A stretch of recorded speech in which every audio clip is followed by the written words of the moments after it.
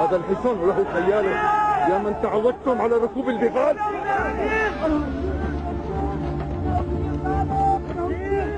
تريد أن تركب الخيل الأصيلة يا جساس هذه كثيرة عليك.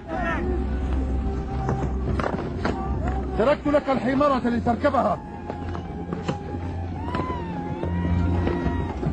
سنتحاسب في يوم آخر. يا شرحبيل الكلب.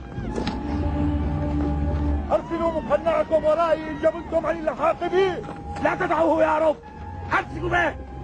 أبلغت بك الوقاحة أن تفكر في الإقامة مع أهلك حيث قتلت كليبا ثق أني سأذبحك فوق الصخرة ذاتها جساس أليس مع أحدكم خوف حطقوا عليه إسعافا هذا خوف تحسنت صحته بعد أن